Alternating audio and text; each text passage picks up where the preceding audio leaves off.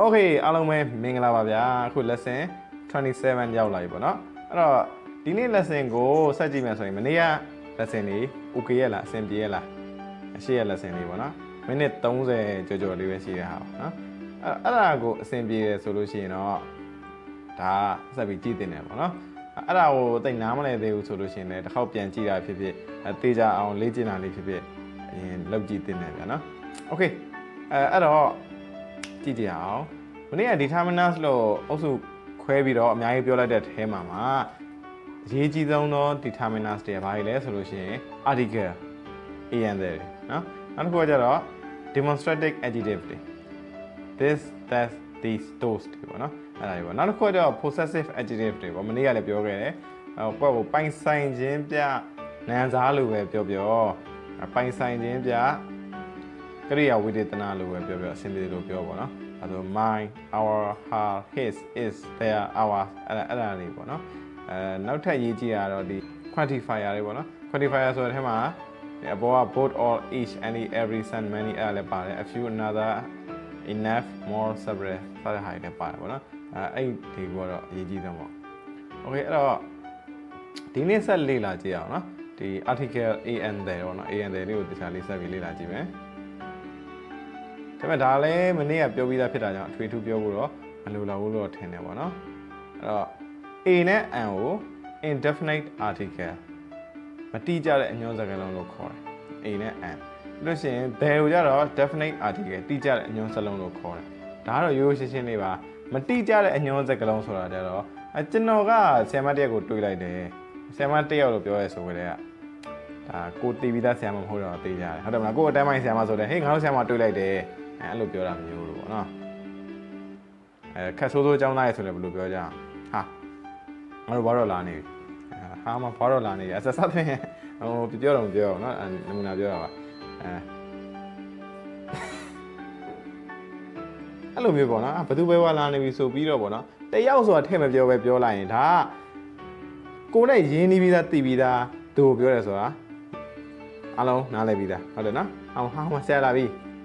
နော် ဟာအန်ဒီလာပြီကြော်ကြီးလာပြီဇော်ကြီးလာပြီအောင်ကြီးလာအဲဆက်ဆက်သဖြင့်ပေါ့နော်အဲကဲကိုမသိရလို့ဆိုနေပါအောင်ဟောမှာလူတယောက်လာနေတယ်ဆရာမတယောက်လာနေတယ်ကျောင်းသားတယောက်လာနေတယ်အဲအဲစသဖြင့်ပေါ့နော်အဲ့လိုပြောမှာပေါ့အဲ AN ကတော့မတိကျတဲ့အညွှန်းစကားလုံးပေါ့နော်အဲကတော့တိကျတဲ့အညွှန်းစကားလုံးပေါ့တိကျတော့အင်္ဂလိပ်လို definite DFI NIT definite လို့ခေါ်တယ်မတိကျဆိုအရှိမ in လေးထည့်လိုက် indefinite အဲဆို AN က indefinite article တဲ့က definite article okay လွတ်ချက်စရာမလိုပါဘူးเนาะနည်းနည်းလေးအခုနားလဲဝင်သွားပြီဆိုရင်ရပြီအာဆက်ကြည့်เนาะအဲ့ A နဲ့ N ကိုယင်ကြည့်အောင်မနေ့ကပြောသလိုပဲပေါ့เนาะ A သုံးမလား N သုံးမလားအဲဒါကသူ့နောက်ကကက်ပြီးလိုက်တဲ့စလုံးက consonants နဲ့စသလား vowel နဲ့စသလားပေါ့เนาะအဲ့ဒီဟာကိုမူတည်ပြီးကြည့်တာမဟုတ်ပါဘူးအတန်တော့ကိုပဲကြည့်အတန်တော့အတန်တော့ကိုကြည့်ရဆိုတော့ तू က A E I O U ဆိုတဲ့ vowel တန်ပါတဲ့ ဒီအအတန်နေနဲ့ထွက်ရင်တော့ n ကိုသုံးပေးရပါတယ်အဲ့လိုမှမဟုတ်ဘူးဆိုလို့ရှိရင်တော့တော့သူဘယ်စလုံးနဲ့ပဲစာတာစာတာ A ပဲသုံးပေးပါမယ်ဟိုကြည့်ကြအောင်နော်နမူနာဆိုလို့ရှိရင် a student မဒါတော့ယူရှင် a student အဲ university U နဲ့ရောစာတာ E I O U တွေက vowel နဲ့စာပဲနော်ဒါပေမဲ့ university လို့အအတန်ထွက်တာမဟုတ်ဘူးဟုတ်တယ်မလားအဲအဲ့ဒါဆိုလို့ရှိရင်တော့အဲ university အဲ့တူနောက်ကိုကြည့်ကြပါအောင်အဲ U နှစ်ခုကိုရှင်းကြည့်မယ်နော် university ပြီးလို့ရှိရင် umbrella အဲ U နဲ့စခြင်းအတူတူ U တန်ထွက်တဲ့ခါကျအဲ university လို့ပြောတယ် M ဆိုပြီးတော့ထွက်သွားရင် R တန်ထွက်သွားရင်အဲ့ကြလို့ရှိရင် an umbrella okay တော့ဆိုရှင်းပါပြီနော်ပြီးရင် E နဲ့စခြင်းအတူတူအဲ European တော့ U တန်ရှားတန်ထွက်သွားတယ်နောက်ကတည်း an elephant elephant နဲ့ R တန် University နဲ့ umbrella ကိုလည်း U နှစ်ခုရှင်းကြည့်ရအောင်ပြီးလို့ရှိရင် European နဲ့ elephant ကိုလည်း E နှစ်ခုရှင်းပြီးတော့ကြည့်ကြရအောင်เนาะအဲဒီလောက်ဆိုရင်တော့နားလည်မယ်ထင်ပါတယ်အဲ့ တော့နောက်တစ်ခုဆက်ပြောမှာပါလဲဆိုတော့ a and the မလိုတဲ့နေရာတွေကို zero article လို့ခေါ်ပါနော် okay zero article ဗာလဲဆိုကြည့်ကြအောင်အော် a and the မသုံးရမယ့်နေရာတွေပါရင် use one နဲ့ရေးထားတယ်နော် with countable plural used in their general sense students upper ပထမအသုံးကဘာလဲဆိုလို့ရှိရင်ဟိုပုံမှန်အမြဲတွေ့နေကြအမြဲသုံးနှုန်းနေကြပါတော့ဒီ students တို့ apples တို့ဒီ father mother son daughter အဆက်ဆက်တဲ့အသုံးလုံးတွေပေါ့နော်အဲ့ဒါကြီးဆိုလို့ရှိရင်လည်းအရင်ရင်းနှီးနေတဲ့သုံးနေတဲ့စလုံးတွေဆိုလို့ရှိရင်လည်းအာ article မထည့်ဘူးထည့်တယ်မရှိဘူးပေါ့နော် use to ပေါ့နော် the zero article is used with uncountable noun water left bread အော်နောက်တစ်ခုကတော့ရှင်းတယ် uncountable noun နေ okay နော်နည်းနည်း memory ပြန်ပြီးတော့ record ခေါ်ကြည့်ရအောင် တော့ဒီ noun သင်ခန်းစာတော့ကဒီ uncountable မှာဒါရင်သင်ခဲ့တယ်အခုပြောထားဆိုလို့ရှိရင်တော့ page 9ပေါ့နော်အဲ့ဒီမှာဆိုလို့ရှိရင်တစ်ခုနှစ်ခုဆိုပြီးပြောလို့မရတဲ့ community လည်းပါမယ်ပြီးလို့ရှိရင်မျက်လုံးနဲ့မြင်တွေ့လို့မရထိတွေ့ကင်တွေ့လို့မရတဲ့နန်းတွေလည်းပါမှာပဲဥပမာဆိုလို့ရှိရင်ကျင်နာမှုတို့အချစ်အမုန်းမေတ္တာကိုချင်းစာတရားပြောရှင်ပါလူဦးရေညဉ့်ညမ်းမှုအစသဖြင့်စသဖြင့်ပေါ့နော်အဲ့လိုအဲ့လိုစလုံးတွေကလည်းဒါ uncountable noun လို့ ပြီးလို့ရှိရင်တော့ abstract noun လို့အဲ့ဒါလေးတွေပေါ့နော်အဲပြီးတော့နောက်ထပ်ဒီမှာဒါလေးတွေတစ်ခါလောက်ရွတ်ကြည့်အောင်နော်ဒါ make to pot beef mutton chicken curry furniture plastic paper news lead ink glass wood homework light iron gunpowder clay zinc gold water technology အဲစသဖြင့်ပေါ့နော် Okay ဆိုတော့ page 55ကသင်ခန်းစာလေးကိုဆက်မယ်နော်အဲ့ဆိုလို့ရှိရင် uncountable noun တွေ uncountable noun ကတော့ a တွေ and တွေထည့်ရမလို့ပေါ့နော်ရမယ်ထင်ပါနော်နောက်တစ်ခု use 3ကိုကြည့်ကြည့်အောင် uh, names of some individual geographical feature ဝေတချို့ basis သမားရတော့ခက်လိမ့်မယ်ပြန်ဖတ်ပြမယ်နော် use 3လေးကိုနော်ကြည့်ကြည့်အောင်ချိန်ပေးလိုက်မယ် name of some individual geographical feature အဲ့တော့ပထဝီဝင်ဆိုင်ရာပေါ့နော်ကမ္ဘာမြေမျက်နှာတွင်ပြေမော်တို့ပါတို့မှာရှိတဲ့အရာတွေကတချို့သောအရာတွေ ဥပမာဆိုလို့ရှိရင် containers တိုက်တွေ country နိုင်ငံတွေ cities မြို့ကြီးတွေ village ရွာတွေ town မြို့တွေပေါ့နော် street land တွေ road လမ်းမကြီးတွေ single mountain or town တွေ lakes ကန်တွေရေအိုင်တွေ and island ISLAND ကို island လို့ထွက်တယ်နော်ဒါ as silence လို့ခေါ်တာပေါ့အဲ့လိုကျွန်းတွေပေါ့နော်စတဲ့စတဲ့ဟာတွေကိုတော့ article နဲ့တွဲမသုံးဥပမာထားပါတော့ A မြန်မာဒဲမြန်မာတမန်လေးအမန်လေးအဲ့လိုတော့မထွက်ဘူးဒါပေမဲ့တခုတော့ရှိရဒီ use 3က geographical နဲ့ပတ်သက်လို့ဘယ်လိုနေရာမျိုးတွေမှာ AN တဲ့တုံးလဲဘယ်လိုနေရာမျိုးတွေမှာမတုံးဘူးလဲဆိုတာတော့ခဏနေဆက်ပြီးတော့လေ့လာအောင်မယ်နော် okay use 4ကိုကြည့်ကြအောင်အဲ့တော့နံပါတ်4အနေနဲ့မတုံးတာကြပါလေဆိုတော့ days months seasons and holidays အဲ့တော့ yes sorry ပေါ့နော်ဥမာတမန်ဒီ that February that September အဲ့လိုမျိုးတော့မတုံးဘူးပေါ့နော်လို့ရှိရင်နောက်တစ်ခုကကျတော့ season လို့လည်းပြောထားတယ်ပြီးတော့ seasons အပြင်တော့ holidays လို့လည်းပြောထားတယ် holidays မှာလည်းအဲသုံးတဲ့ခါလည်းရှိတယ်လို့မသုံးတဲ့ခါလည်းရှိတယ်ဒါတွေကတော့တဖြည်းနဲ့နောက်ပိုင်းကျလို့ရှိရင်တော့တိုးချဲ့ပြီးလေ့လာတော့နော်တော့တော့အကြမ်းပြင်းတော့အဓိကမှန်မှာ days day months day မှာတော့ AN တွေမသုံးဘူးပေါ့အဲ့လိုပဲမှတ်ထားရပါတော့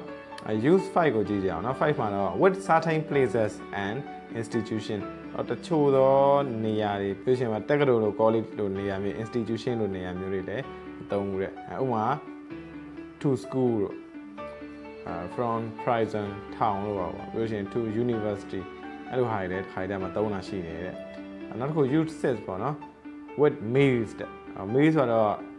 အစားအသောက်စားတာကိုပြောတာနော်ဟိုမှာ breakfast တို့ lunch တို့ dinner တို့ supper တို့ အဲ့လိုဟာမျိုးတွေပေါ့နော်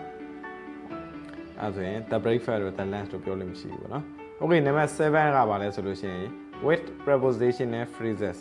အဲ့တော့ prepositional phrases ဆိုတာ preposition နဲ့တွဲထားတဲ့တွဲရဲ့စလုံးလေးဟိုတဲ့အရှိရ phrases တွေရော preposition သင်ပြီးဖြစ်တာကြောင့်မလို့ဟာနားလိုက်မှထင်ပါတယ်ဥပမာတစ်ခုခုနဲ့အသုံးပြုပြီးတော့တွာလာတယ်လို့ပြောတဲ့ခါမျိုးမှာလည်းမသုံးဘူးနော် by car by bus by bicycle by plane by train on boat နောက်လို့ရှိရင် on foot ခြေကျင်သွားတယ်စသဖြင့်အဲ့လိုဟာတွေဆိုလို့ရှိရင်လည်းမတုံးပေါ့နော်ဘိုင်းလက်ကားတော့ပေါ့အဲ့လိုကြီးတုံးလို့မရှိဘူးအဲ့လိုပေါ့အာ notice ဆိုရင်သတိပြုစရာလေးပြောထားပါတယ် but if there is a word or phrase that modify the noun an article is used အာ noun ကိုတွားပြီးလို့ရှိရင်တဲ့ဒီ phrase စလုံးနေနဲ့အထူးပြုထားမယ် modify လုပ်ထားမယ်ဆိုလို့ရှိရင်တော့ articles ကသုံးပါတယ်ဥပမာပါပဲဆောတော့ဒီ means မှာဆိုလို့ရှိရင် dinner မသုံးလို့ပြောရမှာ the dinner လို့တော့ပြောလို့မရှိဘူးပေါ့နော်အဲဒါမှရှေ့မှာ the most delicious dinner ဆိုပြီးရေးထားတွေ့ရတယ်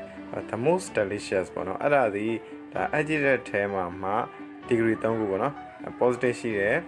comparative ရှိရယ် superlative ရှိရယ်ဟုတ်တယ်နော်အဲ့ superlative degree နဲ့ပတ်သက်ပြီးတွဲတော့မှဆိုလို့ရှိရင်ဒါကိုမြဲထည့်ပေါ့နော်အဲ့ဒါကြောင့်မလို့ the most delicious dinner ပေါ့နော် dinner ကိုတော့ပြရမှာ the most delicious ဆိုရယ် superlative adjective မှာတော့ပြောတာဖြစ်ပါတယ်နော် okay နားလည်မယ်ထင်ပါတယ် okay ဒါလေးကတော့ပါလဲဆိုတော့ theory ပေါ့နော်သဘောတရားတွေပေါ့အဲအဲ့ဒီဟာကိုနောက်ပိုင်းကျလို့ရှိရင် reading ကဏ္ဍမှာ reading လေးနဲ့တွဲပြီးတော့သွားမယ်အခုဒါတွေပြီးလို့ရှိရင်မကြခင်မှာ reading လာပါမယ်နော်အဲ reading လေး vocabulary လေးတွေအဲ speaking လေးနဲ့တွဲပြီးတော့ကြည့်လိုက်လို့ရှိရင်တော့အာလက်တွေ့မှာတုံးများလာရင်တော့သဘောပေါက်လာပါလိမ့်မယ်နော် okay ဒါလေးကိုတော့တက်နိုင်နေတာစိတ်ထဲကိုမှတ်လို့ရသလောက်မှတ်ထားလိုက်ပါနော် Okay ဆောစောကဒီ use 3ဆိုပြီးတော့ပြောခဲ့တဲ့ဟာပေါ့နော် geographical feature ဆိုတာဟာအဲ့ဒါကို ဆက်ပြီးတော့အခြေချပြီးဆက်ရှင်းကြည့်အောင် articles in geographical names and superlative အဲ့ဒီပထဝီဝင်ဆိုင်ရာအသုံးအနှုန်းတချို့မှာဒဲလိုက်ချင်းမလိုက်ချင်းတွေကိုလည်းအောက်မှာပြောထားတယ်နော်အဒီဘက်ဘယ်ဘက်ချမ်းကျတော့0 article เนาะအဲ့လိုခေါ်တယ်ဒီဘက်ညာဘက်ချမ်းကျတော့ definite article ဒဲဒဲကိုထည့်သုံးနေရှိတယ်တဲ့နေချက်ကြည့်မယ်နော်ဥပမာပေါ့ဗျာ continents เนาะ C O N T I N E N T S continent သိပါရနော် okay ဘောမှာတိုက်ကြီးဘယ်နှတိုက်ရှိရလဲ okay ခုနှစ်တိုက်ရှိရပါတော့ဒါမှမေးသိအောင်နော်ဘာလို့ North America South America Europe Africa Asia Australia and Antarctica okay ဒီတိုက်ကြီးခုနှစ်တိုက်တော့ပြရနော်အဲ့တော့ဒါပေမဲ့တိုက်ကြီးခုနှစ်တိုက်လုံးတော့မဟုတ်ဘူးဗျာ6ခုလောက်ကိုတော့တဲမထဲဘူးဒါပေမဲ့ Antarctica ကိုတော့တဲထဲတယ်နော်။ကြည့်ကြည့်အောင်နော်။ Europe, Asia, South America, North America, Australia and Africa ဒီဟာတွေကတော့တဲထည့်ကြမလို့ပေါ့နော်။ဥပမာစာကြောင်းပေးထားပါတယ်။ Australia is the smallest continent in the world. Okay, Australia တော့ဘာမှငယ်ဆုံးတိုင်းတစ်ခုပေါ့။ Okay နော်ဒါပေမဲ့ဟိုဘက်ကိုကြည့်ကြည့်အောင်မယ်နော်။ The Arctic and the Antarctic တဲ့နော်။အဲ့တော့ဒီ Arctic လို့ခေါ်တဲ့ရေဝန်းနဲ့ Antarctic လို့ခေါ်တဲ့ဒီအောက်ဆုံးအတိုင်းတွေကတဲထည့်ပြီးတော့ပြောတယ်ပေါ့နော် Arctic တော့သိရမသိဘူးပြန်ပြူးနေတဲ့ကမ္ဘာမြေပေါ်မှာတော့အဲ့ဒါတွေကိုကောင်းကောင်းမြင်ရမှာမဟုတ်ဘူးပေါ့နော်ဒီလိုမျိုး globe လို့ခေါ်တဲ့ဒီကမ္ဘာလုံးပုံစံမှာဆိုလို့ရှိရင်တော့ဒါရောက်ဘက်အဆုံးနဲ့တောင်ဘက်အဆုံးမှာတော့ကြည့်မြင်ရလိမ့်မယ်နော်အဲ့တော့ the Antarctic is the coldest continent in the world okay နောက်တစ်ခုကြည့်ကြည့်လိုက်အောင်တင်ကိုယ်တိုင်ထားရမယ့်ချိန်ရောက်လာပြီဖြစ်တယ်။ တင်နိုင်ငံနောကြပါတင်ကိုယ်တိုင်ထားရမယ့်ချိန်ရောက်လာပြီ။တင်ပတ်ဝန်းကျင်နောကြပါတင်ကိုယ်တိုင်ထားရမယ့်ချိန်ရောက်လာပြီဟိုအမကြီးခဏလေးခဏလေးနော်ဒီမှာကျောင်းသားတွေအဲ့နေရလေ no go နေမယ်ဘလို့ဖြစ်နေအောင်လေလေတွေးနေပြီနော်ဆရာစိတ်ထိုးတယ် okay နောက်အဲ့ဒါစာကြည့်နေရင်လည်းငိုင်းချင်နေဖြစ်ရင်အဲ့မှာယူထက်ခေါ်ပါမယ်အဲ့တော့အာယုံလေးတစ်ချက်စုပြီးပေးထားပါအောင်နော်ဆက်ပြီးကြည့်ရအောင်အဲ့ဒါဆိုလို့ရှိရင် single legs နဲ့ groups of leg အဲ့ခုဘာပြောနေသေးရနော်အာဘာပြောနေရနော် the သုံးမနဲ့နဲ့မသုံးမနဲ့ရမသုံးမဟာတွေဘယ်လိုခေါ်0 article ဟုတ်တယ်နော်အဲ့တော့အိုင်လဲဥမာ single legs ပေါ့နော်အရှိကန်တွေကတော့ဒါ proper noun လို့ဟာမျိုးပေါ့ဒီ proper noun လို့ဟာမျိုးတွေဒီ geographical နဲ့ဆိုင်တဲ့တချို့သောအရာတွေမသုံးဆိုတော့သိပြီးသားပေါ့နော်ဥပမာဆိုလို့ရှိရင် Lake Geneva Lake Michigan North Less etc စသဖြင့်အဲ့လိုမျိုးဟာတွေကိုမသုံးပါဘူးအာ Lake Geneva Geneva ဆိုတာတော့ဒီ Switzerland နိုင်ငံမှာရှိတဲ့ Geneva ကန်ကြီးဆိုတာပေါ့နော်အဲ Geneva Convention ဆိုပြီးတမိုင်းမှာလည်းအဲ့ဒါဖြစ်ရကနာမည်ကြီးတဲ့ဖြစ်ရတယ်ပါတယ်ပေါ့နော်နောက်တစ်ခါ Lake Michigan အဲ Michigan ဆိုတာတော့ဒီတော်တော်လေးကြီးတယ်အဲ့ဒါလည်းဟိုနိုင်ငံငယ်လေးတွေတချို့ထက်တော့ပို့ပြီးတော့အရွယ်စားကြီးသေးတယ်အမေရိကန်နဲ့ကနေဒါဂျားထဲမှာ နေတဲ့ဂျားထဲမှာရှိတယ်အကန်ကြီးတွေစုတာအဲ့ကန်ကြီးတွေစုထားတယ်ခဏလေးလာတယ်အဲ့မင်းချီကန်ကအဲ့ထဲကကန်နေတဲ့တစ်ခုပေါ့နော်ခဏလေးပြန်ပြပါမယ်အာအဲ့တော့အဲ့လိုဟာတွေပေါ့နော်ကန်နေဆိုရင်တော့ single leg တွေဆိုရင်တော့မတုံးဘူးဥပမာလည်းဥပမာလည်းပြောထားပါတယ် Mackenzie in Australia is the cleanest lake in the world အဲ့တော့ Australia တိုက်မှာရှိတယ် Australia နိုင်ငံမှာရှိတဲ့ Mackenzie ဆိုတဲ့ကန်ကတော့ဟောမှာအတန်ရှင်းဆုံးကန် okay အဲ့ နောက်တစ်ခုကလည်းဗာလဲဆိုတော့ cruise of lake ပေါ့နော်အဲ့တော့ကန်နေကန်နေကိုစုထားတာတခုရှိကအဆူစည်းပုံစံမျိုးဖြစ်သွားလို့ရှိရင်အဆူစည်းပုံစံမျိုးဖြစ်သွားလို့ရှိရင်အဲ့ဒါက proper noun လို့မျိုးဆိုတော့ဘယ်နဲ့တော့ဒဲထဲ့တယ်ဆိုတဲ့ဘောတရားလေးပေါ့နော်ဥပမာဆိုလို့ရှိရင်ဗျာကျုံးဆိုတဲ့တစ်ခုလဲဆိုဒဲမထဲဘူးကျွန်းတွေစုသွားရင်ထဲတယ်တောင်တွေပေါ့နော်တောင်တစ်လုံးနဲ့ဆိုရင်မထဲဘူးတောင်တန်းတွေတောင်တန်းတွေဆိုပြီးတောင်တန်း စုဆိုရင်ထဲတယ်ပေါ့နော်နိုင်ငံတောင်မှပါလဲဆိုလို့ရှိရင်ချိုးချိုးတနိုင်ငံနဲ့ဆိုရင်မထဲဘူးနိုင်ငံတွေစုထားတဲ့အဓိပ္ပာယ်မျိုးအဲ့နိုင်ငံရဲ့နာမည်မှာအဓိပ္ပာယ်တက်ရောက်တယ်ဆိုလို့ရှိရင်ထဲထဲတယ် Okay နားလည်မယ်ထင်နော်စက်ကြည့်ကြအောင်နော်ဥပမာအဲ့မှာ the Great Lakes the Chef's Lake the Vlahini Lakes etc စသဖြင့်ပေါ့နော် the Great Lakes ဆိုလို့ရှိရင်အဆိုဆို the Great Lakes ဆိုလို့ရှိရင်ဒါပုံမှန်ဒါမြင်ရတဲ့အတိုင်းပဲအောက်ကတော့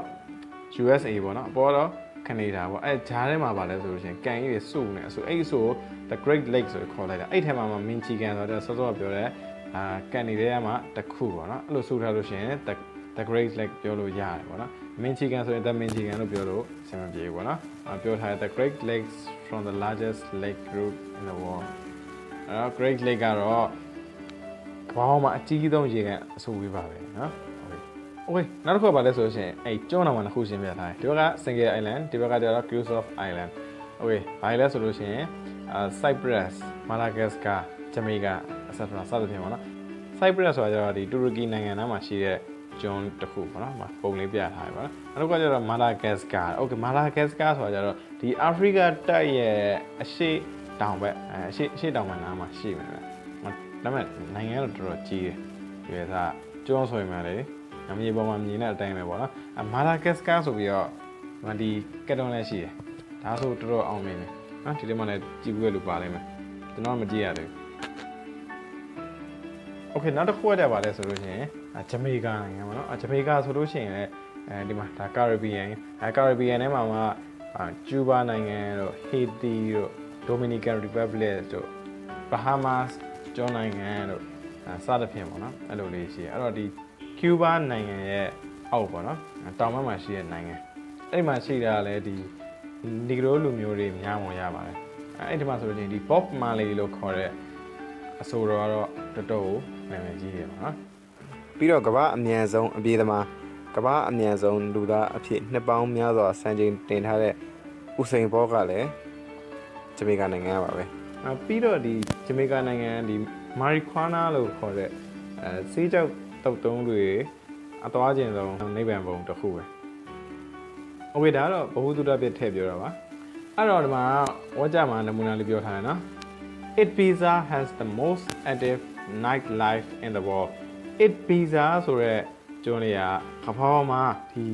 အလှပဆုံးတော့ဒီညာခင်းအနာတရားတွေပြီးလို့ရှိရင်ပြီးလို့ညဘက်နေလို့အကောင်းဆုံးနေခြင်းစပွဲကျွန်းလေးတစ်ခုပဲတဲ့အဲ့ တော့ဒီ it pizza နဲ့ပတ်သက်လို့အဲ we are going to it pizza ဆိုတဲ့ချင်းတော့ဟိုငယ်တော့ကြောက်ပါလေဟိုငယ်တော့ we are going to it pizza ဆိုတဲ့တချင်းလေးတော့မှငယ်တော့လာကြောက်ပါသေးတယ် We're going to Ibiza. Back to the island. This is a child sounds of 90 years born 90 years born ဆိုတော့ ဒီ1990ကျော်ကာလိုက်မှာငွေခဲ့လူလူတွေကိုပြောတာပေါ့နော်သူတို့ငယ်တော့ဆိုလို့ရှိရင်တကြံမှာဒီမြန်မာတကြံတချင်းလေးအပြင်တော်တော်နားထောင်လို့ကောင်းပြောလို့ကောင်းတဲ့တချင်းတွေမှာအရှိရဟိုင်းလည်းပါတယ်ပေါ့နော်အာ YouTube မှာရှာကြည့်မယ်ဆိုရင်ရှာကြည့်လို့ရပါတယ်နော်အဲ8 pizza ပေါ့နော်အဲ8 pizza ကျွန်းကတော့ဒီ Spain နိုင်ငံသားမှာရှိတဲ့ကျွန်းလေးတစ်ခုဖြစ်တယ်ပေါ့နော်ဒီမှာဆိုလို့ရှိရင်လည်းမြေပုံလေးပြထားရပါပေါ့နော် Okay ဒီဘက်မှာကြည့်အောင်နော် but cruise of island နဲ့ ဟုတ်ကဲ့နော်အဲ့တော့ဒီလိုမျိုးကျွန်းနေဆိုလို့ရှိရင်အာတဲထဲလို့အဆင်မပြေဘူးပေါ့နော်ဒါပေမဲ့ကျွန်းနေစုထားဆိုလို့ရှိရင်တော့တဲထဲတယ် cruise of island ကြည့်ကြအောင်နော် the Philippines the Caribbean the Canaries etc ဥပမာအဲ့တော့ Philippines ကနိုင်ငံပဲဘာလို့ S ထည့်ရလဲအဲ့တော့ Philippines လို့ပဲအဲ့နိုင်ငံတွေတော့မှာ S ထည့်ရရှိရပါတော့ဥပမာ the Netherlands the Philippines အဲ့ဒါတွေကတော့ထင်ရှားသောဥပမာတွေပေါ့နော်အပြီးရင်လည်းအဲ့တိုင်းပြည်ကဏ္ဍမှာလည်းနည်းနည်းဆက်ပြောပါအောင်နော်အဲ့ဘာလို့လဲဆိုတော့ ဖိလစ်ပင်းဆိုလို့ရှိရင်လည်းဒါအဲကျွန်းနိုင်ငံတွေကျွန်းနိုင်ငံတွေစုပေါင်းပြီးဖွဲ့ထားကြမလို့ Philippines as ပါတယ်ပေါ့နော်နောက်တစ်ခုလည်းပါလဲဆိုတော့ the Caribbean Caribbean တော့ပင်လယ်ပဲဒါပေမဲ့ Caribbean ဆိုပြီးတော့ဒီအဲ့ပင်လယ်အတွင်းကကျွန်းနိုင်ငံများဆိုပြောရင်လည်းရတာပဲအဲ့တော့ the Caribbean အဲ့လိုပြောလို့ရတယ်ပေါ့နော်ပြီးလို့ရှိရင်နောက်တစ်ခုကတော့ the Canary အဲစသဖြင့်ပေါ့နော်အဲ့နောက်တစ်ခုဆက်ပြောထားတဲ့ဥပမာလေးက the Bahamas are the richest island in the world အဲ့တော့ Bahamas ကျွန်းစုတွေကတော့ကမ္ဘာမှာအချမ်းသာကြွယ်ပါဆုံးတော့ကျွန်းစုတွေပဲဖြစ်တယ်ဆော့ဆော့ပြောထားတယ် Caribbean မှာရှိတယ်အဲကျူဘာတွေဂျမေကာတွေဟေတီတွေဒိုမီနီကန်တွေသူ့အပေါ်မှာပါအောင်ဒါတွေဘာဟာမတ်ကျွန်းစုပေါ့နော်အာသတင်းတွေကမှမကြာခဏကြားဖို့မှထင်တယ်ဒါတွေတော့ဒီ Pirates of the Caribbean ဆိုတာတွေပြီးလို့ရှိရင်ဒီ USA နိုင်ငံနဲ့အနီးအနားမှာရှိတာတွေပြီးလို့ရှိရင်ဒီဘာမြူတာတရိကန်တွေညာမြူတာတရိကန်တွေအဲစစသဖြင့်ပေါ့အဲ့ဒီနဲ့နီးကပ်တာဖြစ်တဲ့အတွက်ကြောင့်မလို့ခုပြောတဲ့ ခန္ဓာတွေလည်းကြားဖို့မှန်တော့ထင်ပါတယ်နော်အမကြားဘူးလဲကြားဘူးလဲတော့ပါဘာပြောပြောတာစသင်နဲ့အဲ English နဲ့သင်ရင်အာပထဝီတို့ general knowledge တို့ပါတခါတယ်ကောင်းတယ်ရောက်ပြီးသားဖြစ်သွားတော့ကောင်းတာပေါ့အဲ single mountains ပေါ့နော်အဲတစ်ခုသေးတော့အဲတစ်ခုသေးတော့သူထီထီရှိနေတဲ့တောင်တွေအဲအဲ့ဆိုလို့ရှိရင် proper noun ခေါ်မှာပေါ့ဟုတ်တယ်မလားအာဥမာ Mount Everest တော့เนาะ Everest တောင်ပြောချင်တာเนาะ Mount Fuji Japan Fuji Mount Kilimanjaro အစသဖြင့်ပေါ့နော်ပြီးလို့ရှိရင် Mount ပုပ္ပါထားမြန်မာပြည်မှာရှိရနော် Mount Everest ကတော့ဒါဟိမဝန္တာတောင်တိုင်းအဲအဲ့မှာအမြင့်ဆုံးတောင်ပေါ့နော်အာအိန္ဒိယနဲ့တရုတ်ကြားမှာရှိရပေါ့ပြီးတော့ Mount Fuji ပေါ့နော် Fuji တောင်ကတော့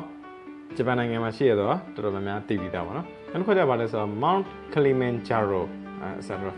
Kilimanjaro ဆိုတာကျတော့အာဖရိကမှာရှိရအာဖရိကမှာတောင်မှာအာအီသီယိုးပီးယားသိရမှာအဲ့မှာမဟုတ်သေးဘူးအီသီယိုးပီးယားအောက်ကင်ညာ ကင်ညာလည်းမဟုတ်သေးဘူးကင်ညာအောက်တန်ဇီးနီးယားအဲ့တန်ဇီးနီးယားဆိုတဲ့နိုင်ငံနဲ့ကင်ညာနယ်စပ်နားလုံးမှာရှိရနော်ဒါပေမဲ့တန်ဇီးနီးယားပိုင်နယ်အတွင်းပေါ့โอเคအာနောက်တစ်ခုကကြပါလဲဆိုလို့ရှိရင် Kanchenjunga Kanchenjunga in India is the most difficult mountain to climb အိန္ဒိယမှာရှိတဲ့ Kanchenjunga ဆိုတဲ့တောင်ကတက်ဖို့အခက်ဆုံးတောင်ပါပဲโอเคလို့ရေးထားတာပေါ့နော်โอเคဘာပဲပြောပြောပေါ့နော်ဒါ grammar လေးသင်နေနမူနာလေးတွေ example လေးပြရင် အာ general knowledge လေးပါတခါရရတာပေါ့နော်အဲ့တော့ single mountains တွေကတော့ဟုတ်ပါပြီဒီဘက်က groups of mountain တောင်တန်းတွေစုထားတာဥပမာ the rocky mountains the caucasus the carpathian စသဖြင့်ပေါ့နော် rocky rocky တောင်တန်းဆိုတာကြတော့အာမြောက်အမေရိကတိုက်ကြီးမှာမှာဒီလိုတောင်မြောက်တွေ့တန်းလေးရရှိတဲ့ဟာပေါ့နော်အဲဒါအလေတန်းပထဝီမှာဆိုလို့ရှိရင်လည်းပါတယ် နောက်တစ်ခါကျတော့ caucasus တောင်တန်း caucasus ကကြတော့อืมသူကလည်းစိတ်ဝင်စားစရာကောင်းတယ်ဒီ Caspian လို့ခေါ်တဲ့ပင်လယ်နဲ့ Black Sea လို့ခေါ်တဲ့ပင်လယ်ကြားထဲမှာရှိတယ်အတူနဲ့ပတ်သက်လို့စိတ်ဝင်စားတဲ့သမိုင်းတွေလည်းပါတယ်။ဥပမာထားပါတော့ဒီ Aryan လူမျိုးတွေစတင်ဖြစ်ပေါ်လာတဲ့နေရာနာတော့နောက်ပြီးလို့ရှိရင် Armenia လူမျိုးစုတို့အာဒီလို့ရှိရင်နာဇီနဲ့ဆိုဗီယက်နဲ့တိုက်တဲ့စစ်ပွဲတွေကလည်းကော်ကီဆက်နာမှာဖြစ်ခဲ့တယ်လို့အဲစသဖြင့်ပေါ့နော် ကော်ကီဆက်ကလည်းစိတ်ဝင်စားစရာကောင်းတဲ့တောင်းတယ်ပဲနောက်တစ်ခုနမူနာပြထားတာတော့ဒီကာပက်သီယန်တောင်တန်းတွေပေါ့နော်ဒီကတော့မြင်တဲ့အတိုင်းပဲပေါ့နော်အဲဥရောပတိုက်မှာရှိတယ်ပိုလန်ယူကရိန်းရိုမေးနီးယားစတဲ့နိုင်ငံအနေနဲ့လည်းထိစပ်နေတယ်နော်ဒါဥရောပကထင်ရှားတဲ့တောင်တန်းမှာပဲ The Rocky Mountains, the Caucasus, the Carpathian စသဖြင့်ပေါ့နော်သူတို့လည်းခေါ်ကြတယ်ပြီး လို့ရှိရင် the Himalayas စသူတို့ကခေါ်တယ်ကျွန်တော်ကကြတော့ Himalaya တောင်တန်းအဲ့လိုခေါ်တယ်ဒါဒါလည်းတောင်နေစုထားတာပဲတော့တဲထဲပေါ့နော် the Himalayas are the highest mountain in the world ဘာမှအမြင့်ဆုံးတောင်နေစုထားတဲ့တောင်တွေကအဲ Himalaya မှာရှိတယ်နောက်ဆုံးတစ်ခုစိတ်ဝင်စားဖို့ကောင်းတယ်နော် country and states ပေါ့နော်နိုင်ငံတွေဒီပြည်နယ်တွေတိုင်းတွေဟိုပေါ့နော် Spain Ukraine Texas မြန်မာ ထိုင်းလာအိုဗီယက်နမ်အစသဖြင့်အဲ့တိုင်းပဲပြောရင်တော့ဒဲထဲတယ်မလို့ဘူးလीနော် Iceland is the most peaceful country in the world Myanmar is the most interesting country in Asia Okay စသဖြင့်ပေါ့နော်အဲ့လိုပြောလို့ရတယ်ဒါပေမဲ့တိုင်းပြည်တွေကိုစုထားပါနော် Unions of country states အတိုင်းပြည်တွေကိုအတိပ္ပယ်တစ်ခုခုနဲ့ဒါစုပြီးတော့ခေါ်မယ်ဆိုလို့ရှိရင်တော့တဲထဲတယ်ပေါ့နော်ဥပမာဆိုလို့ရှိရင် USA USA ဆိုပါအောင် American မှသိရနော် The United States of America state တွေကိုစုထားတာ အဲပြီးတော့နောက်တစ်ခုက The United Kingdom ပေါ့နော်အဲ့တော့ UK UK အဲ့အဲ့ဆိုအင်္ဂလန်လို့တန်းပြီးတော့မြင်ကြရပါတော့ဒါပေမဲ့အင်္ဂလန်လို့ပြောရတာရယ်ဗြိတိန်လို့ပြောရတာရယ် UK လို့ပြောရတာလည်းမတူဘူးအကြည့်ကြည့်အောင်အဲ့ကျွန်တော်မြန်မာပြည်မှာဆိုလို့ရှိရင်လည်းမြန်မာလို့ပြောရမယ်ဆိုလို့ရှိရင်ကချင်ကရကရင်ချင်းဗမာမွန်ရခိုင်ရှမ်းဆိုပြီးအဲ့တိုင်းလိုက်အားလုံးစုထားမှသာဒီပါအောင် မြန်မာနိုင်ငံအဲ့လိုမျိုးပြောထားမှာပြည်တောင်စုမြန်မာနိုင်ငံပေါ့ပြည်တောင်နေစုထားတာလေအဲ့တော့သူတို့စီမှာလည်းပါအောင်ဒီမှာဆိုလို့ရှိရင်စကော့တလန်ရှိရယ်ဝေးလ်ရှိရယ်အင်္ဂလန်တွေရှိရယ်အဲသူတို့တွေပေါင်းထားသူတို့တွေပေါင်းဆွဲထားမှာပါလဲဆိုလို့ရှိရင် Britain Great Britain အဲ့လိုခေါ်တာအဲ့ဒီကနေမှာပါလဲဆိုလို့ရှိရင်ဒီဘက်က Ireland အဲ့အဲ့ Scott with England နောက်တစ်ခုကအဲ့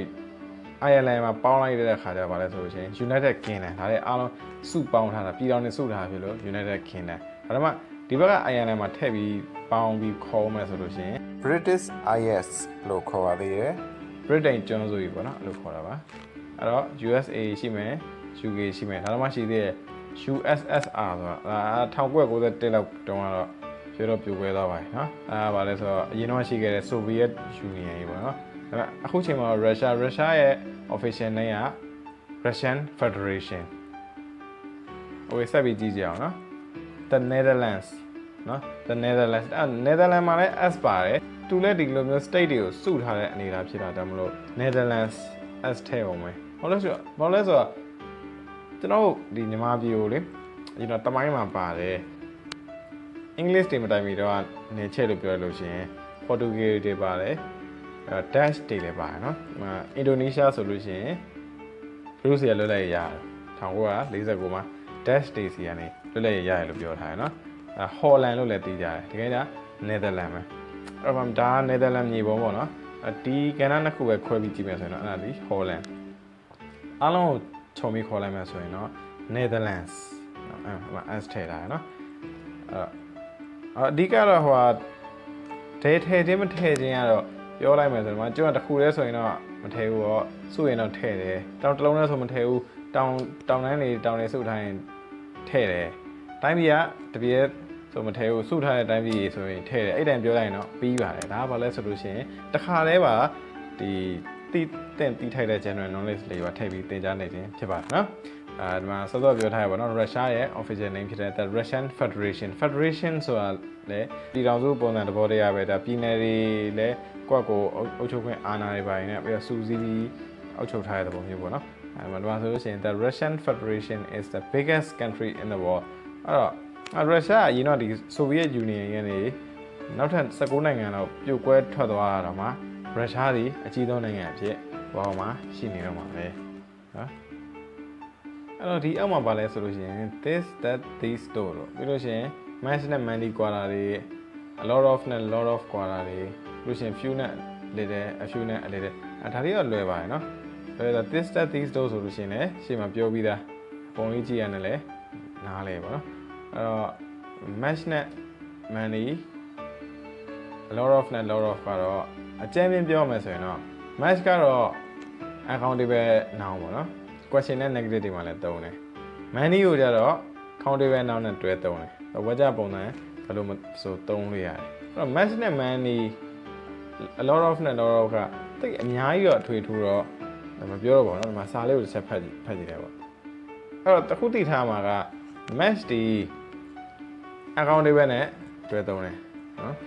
money ရဲ့ကြတော့ countable နဲ့သုံးတယ်အဲ့တော့လောလောဆယ်တော့ဒီလောက်ပဲသိထားတယ်ပေါ့နော်အဲခဏကြလို့ရှိရင် exercise လေးပြီးမယ်နော်အဲ့ exercise လေးလုပ်ပြီးရင်လည်းဒါတွေလည်းနားလဲမှာပေါ့နော်လို့ရှိရင်ဒါ few နဲ့ little ပြီးလို့ရှိရင် a few နဲ့ a little အဲ့တော့ few a few တော့ countable noun နဲ့တွဲသုံးတယ်နော် few နဲ့ a few little နဲ့ a little အဲ့ဒါကိုကြတော့ uncountable noun နဲ့သုံးတယ်ဟို noun တို့ဘာလို့ဆိုလို့ရှိရင်လည်း a little တို့ပြီးလို့ရှိရင်တခုပေါ့နော်ထားပါတော့ can you speak english yes လို့ဖြေလို့ရတယ် no လို့ဖြေလို့ရတယ် a little အဲ့လိုအဲ့လိုလည်းဖြေလို့ရပါတော့အဲ့တော့သူက accountable နောက်နေနဲ့ပဲတုံးတယ်အဲ့လိုမျိုးသိထားတာရပြီဒီပါလာကြီးမပါလာကြီးကတော့အဲ့တော့အခုလေးချိန်ငယ်လေးကြည့်လိုက်ရအောင်နော် okay ဒါကတော့ homework ခံတာပဲဖြစ်ပါတယ်နော်အဲ့တော့အကြောင်း20ပေးပါမယ်ဒီထဲမှာတော့ပါတော့အစုံပဲပေါ့နော် articles တွေလည်းပါတယ် demonstrative adjectives တွေလည်းပါတယ် pronoun တွေကတော့ထွေထူးသိပ်ထည့်မထားတော့ဘူးเนาะ channel တွေလည်းအဲ့လိုတော်တော်များများပါတယ်ဗောနော် mass တွေ many တွေ few တွေ a few တွေ little တွေ a little တွေ all တွေ each တွေ every တွေစသဖြင့်ဗောနော်အဲ့လိုလေးအကုန်လုံးရောပြီးထည့်ထားရဗောနော်ဒါပထမ10ခုကို အဲလိုက်ပါပြီးလို့ရှိရင်ရွေးထားတာလည်းရပါတော့ choice ပေးထားတဲ့ဟာလည်းမှန်တာလေးကိုတစ်ခါလေအဖြေနဲ့တွဲပြီးတော့ဖြည့်ကြည့်ပါနော်အရှိဟာ10ခုပြီးတော့နောက်က10ခုစုစုပေါင်းပုံ20ပါနော်ဒီ20လေးလည်းရိုက်လိုက်ပါအောင်နော် screenshot လေးရိုက်လိုက်ပါရိုက်ပြီးလို့ရှိရင် exercise လေးလုပ်ပြီးလို့ရှိရင်ပို့ကြည့်ပါနော်အဲ့ခါကျရင်တော့စစ်ပေးပါမယ် ကဲအဲ့ဒါဆိုလို့ရှိရင်ဒီ basis grammar ကိုသင်တာကဒီလောက်ဆိုလို့ရှိရင်တော့တော်တော်လေးလဲခိုင်းကဏ္ဍစုံလင်ပြီလို့ယူဆပါတယ်เนาะအဲ့တော့နောက်ထပ် exercise တွေလုပ်စရာတော့အများကြီးတော့ကျွန်တော်ကြံသေးရပါဘောအဲ့တော့ဒီ theory ကိုတိုင်းသင်ပြီးလို့ရှိရင်ဘာအောင်ဆက်သင်မလဲဆိုလို့ရှိရင် vocabulary ဘိုင်းကိုဒီရပိုင်းဆက်သင်ပါမယ်เนาะအဲ YouTube မှာ vocabulary ဆိုပြီးတော့ခံအားအသစ်ဖွင့်နေပြီးလို့ရှိရင်အဲ့ဒါတွေကိုတောက်လျှောက်သင်မယ်အဲ vocabulary ပြီးလို့ရှိရင် reading တွေဆက်ပြီးသင်ရမယ်အဲ့မှာမှသင်ပြီးသား vocabulary တွေနဲ့ရော reading တွေနဲ့ရောချိန်ပြီးတော့သင်သွားမှာဖြစ်ပါတယ် okay အားလုံးပဲ vocabulary ကဏ္ဍနဲ့ reading ကဏ္ဍမှာဆက်ပြီးတော့ဆုံတွေ့အောင်မယ်เนาะပို့ပြီးစိတ်ဝင်စားတဲ့ကောင်းတဲ့အကြောင်းအရာတွေပါမယ်ဆိုတာကျွန်တော်အားမခံပါတယ် okay see you bye bye